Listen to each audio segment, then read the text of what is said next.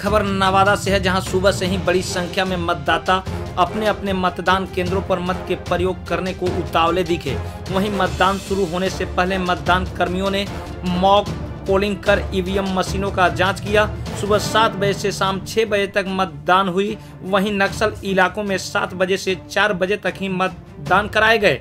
मतदान केंद्रों पर कोविड 19 की खास ख्याल रखा गया। सभी मतदान केंद्रों पर सुरक्षा की पुख्ता इंतज़ाम के लिए पारा मिलिट्री फोर्स की तैनाती की गई थी।